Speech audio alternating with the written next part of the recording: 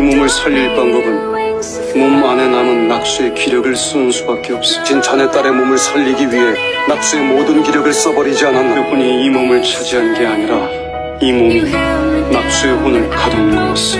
자네가 선택한 골수는 비록 혼은 남았지만 기력도 기억도 다 잃은 거야.